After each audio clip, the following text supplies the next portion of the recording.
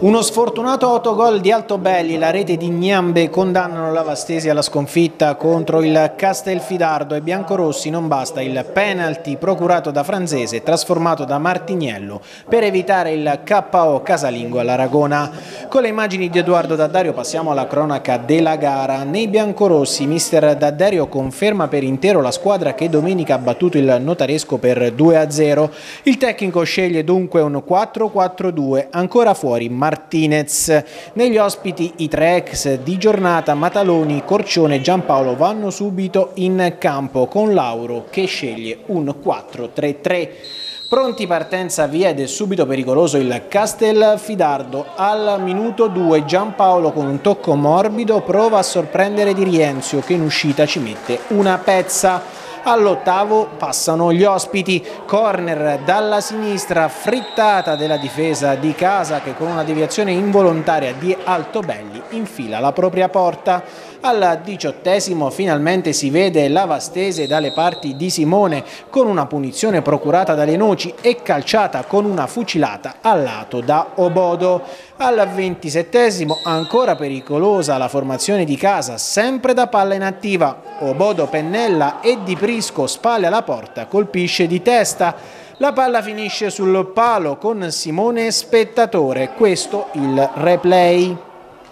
Al quarantesimo i marchigiani vanno alla conclusione con Mataloni, tutto facile per Di Rienzo. Al 44esimo occasionissima per il Castelfidardo. Giampaolo dalla distanza prende la mira e calcia, palla sul palo. Ecco il rallenti della conclusione. Dopo un minuto si va a riposo sull'1-0 per la formazione di Lauro. Nella ripresa subito doccia fredda per i locali, al secondo Giampaolo viene toccato da Di Rienzo in uscita, il direttore di gara non ha dubbi e assegna il penalty, questo il contatto. Sul dischetto va lo stesso giocatore maglia numero 10 che si lascia ipnotizzare dall'estremo bianco-rosso che respinge con i piedi, ma Gnambea arriva di gran carriera e deposita in rete per il 2-0.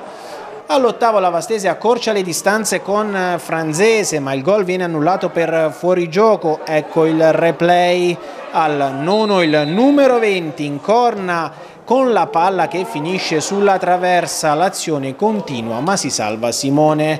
Al ventottesimo Franzese viene toccato in aria, il signor Totaro assegna il penalty, questo il contatto. Sul dischetto. Va Martiniello che fa 2 a 1 e accorcia le distanze.